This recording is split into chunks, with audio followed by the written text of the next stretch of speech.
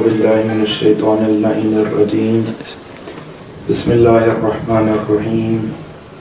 अल्हम्दुलिल्लाहि रब्बिल आलमीन वस्सलातु वस्सलामु अला जमील अम्बिया वल मुरसलीन सीमा ख़ातमिहिम व अफ़दलिहिम अबिल क़ासिम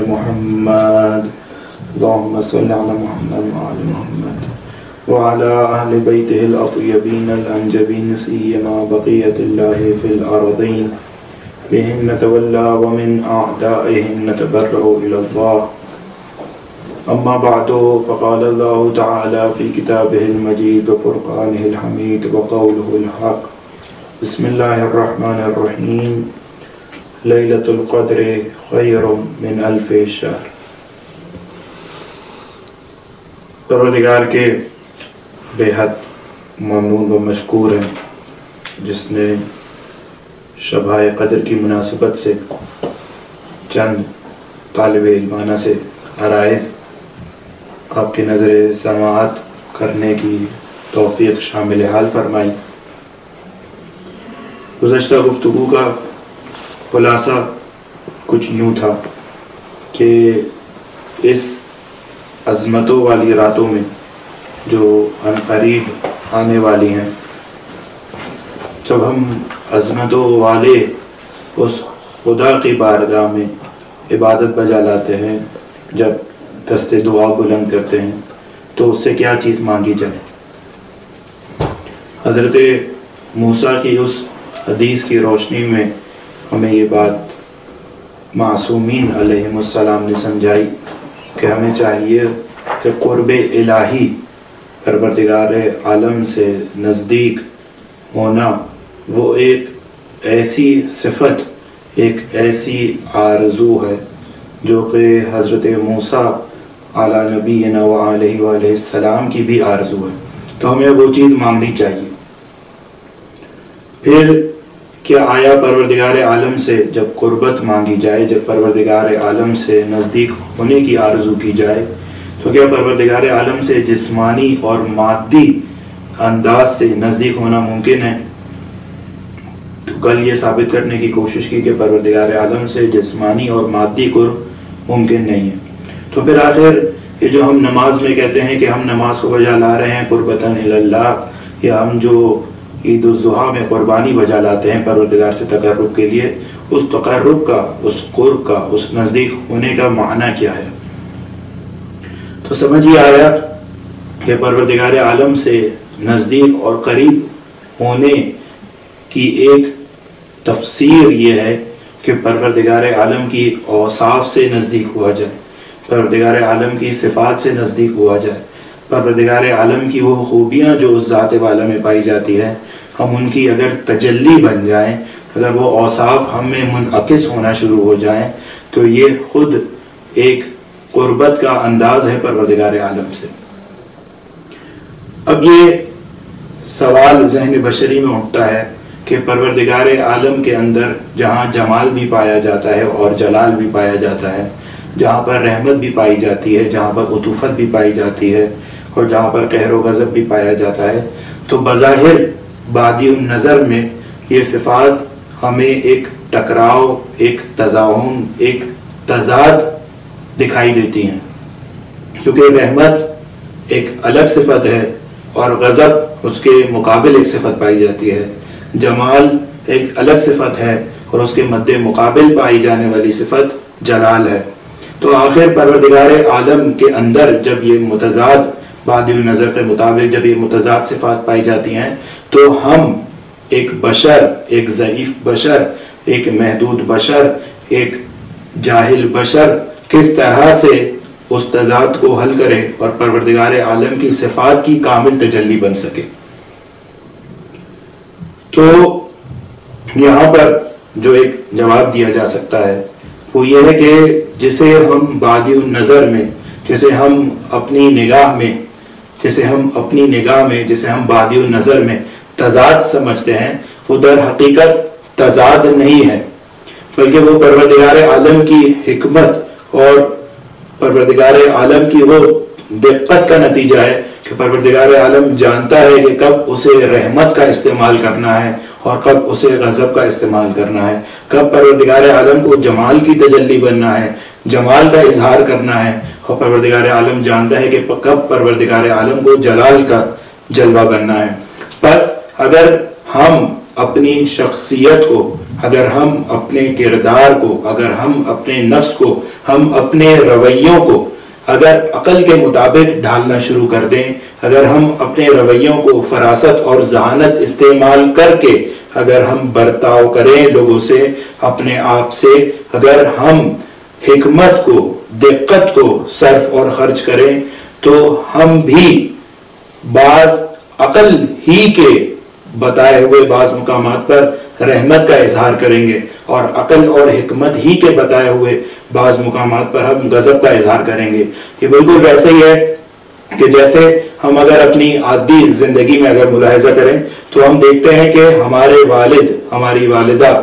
कभी हमसे प्यार करते हैं, कभी हमसे नाराज़ हो जाते हैं। तो ऐसा नहीं होता कि उनका प्यार करना गलत होता है या उनका डांटना गलत होता है, बल्कि डांटना भी उनकी एक हमत और एक दिक्कत के नतीजे में होता है और उनका प्यार करना भी उनके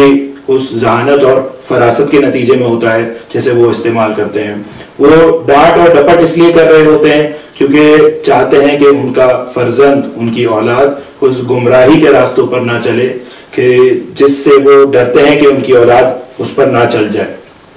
बस अगर हम अकल की बुनियाद पर अपने एहसास को दे रखें, अगर हम अकल की बुनियाद पर अपनी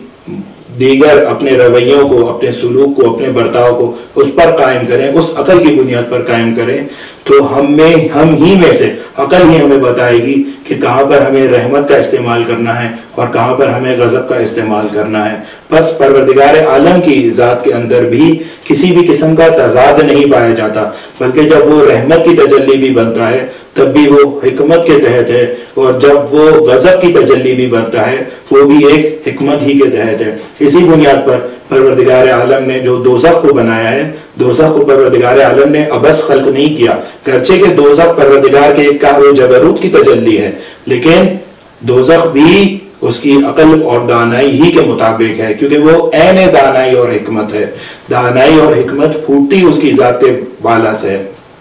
यही बात अगर हम तारीख के आईने में अगर देखें तो हमारे मासूमीन की ज़िंदगी और सवान उम्री में भी हमें ये बात देखने को आती है कि आप गौर करें कि यही अमीरमिन की शख्सियत है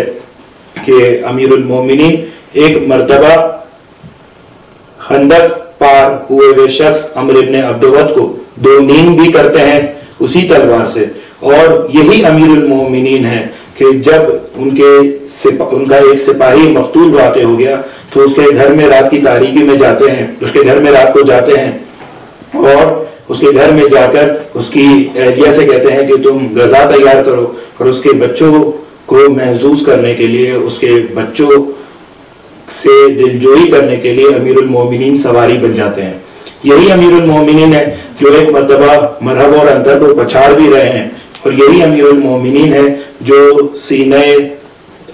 उस जालिम और उस शकी के और उस दुश्मन इस्लाम के सीने से उतर भी जाते हैं। यही अमीरुल है, जो एक मरतबा हमें सिफैन में, नहरवान में, बकिया जंगों में,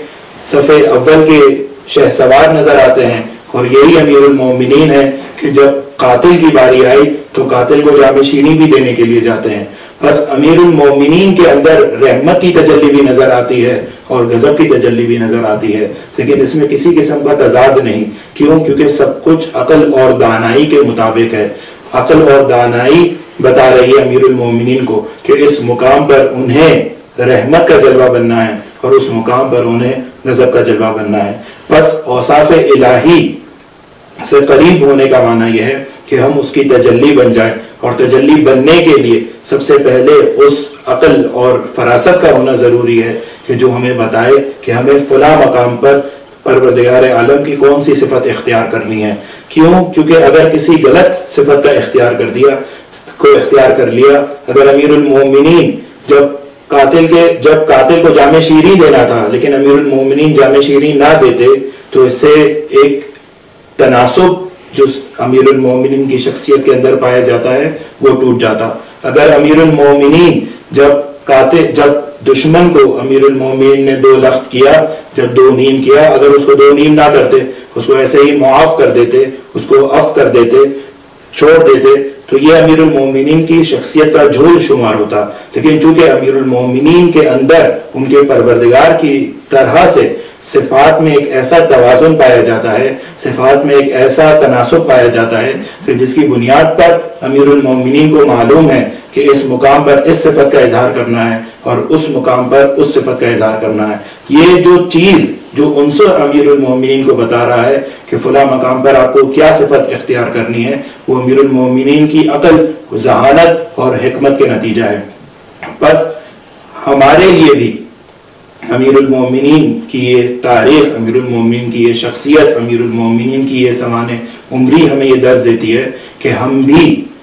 उन्हीं के नक्श कदम पर चलते हुए परवरदिगार आलम का कुर्ब हासिल करें खसूस इन आने वाली रातों में कि जिसके बारे में मैं ये कहूँगा कि अगर इन रातों में मुझ हकीर को परवरदिगार आलम का कुर्ब ना मिल सका तो उसमें देने वाले की कमी नहीं है, बल्कि लेने वाले का जाफ था। गदा को अगर मांगना ना आए तो उसमें देने वाले की गलती नहीं है, बल्कि गदा की, साहिल की, साहिल का जाफ है। साहिल की जो है वो ये बेहुनरी है कि उसको हुनर नहीं आता मांगने का। अगर हुनर आए मांगने का तो आज की वो शब, इन आने वाली वो शबें वो शबें हैं कि जिसमें हम परवरदिगार आलम से वो अनमोल तोहफा, वो अनमोल रहमत परवरदिगार आलम से मांग सकते हैं कि जो कि हज़रत मूसा भी परवरदिगार आलम से मांग रहे थे कि फरमा रहे थे कि इलाही उरी दो कुर्बत। ए परवरदिगार आलम, मैं तेरा कुर्ब चाहता हूँ। तो परवरदिगार आलम ने कहा कि कुर्बी लेमन कदर। मेरा कुर्ब उसके लिए है कि जो कि शब कदर में बेदार हो जाए। परवरदिगार आलम से दुआ गो हैं कि बेहक मोहम्मद व आल मोहम्मद हमें सही माना में दीन इस्लाम को समझने और उस पर अमल करने की तोहफे की नायत फरमाए। परवदिगार आलम से दुआ गो हैं कि हमारे तमाम गुनाहन सगीरा और कबीरा की बख्शिश फरमाए। परवदिगार आलम से दुआ गो हैं कि मौला साहिब ज़मान के जहूर में ताजील फरमाए। रबना तकबल मन्ना इन का समी दुआ। व आखिर दावाना अनिलहमदिल्ला रबालमीन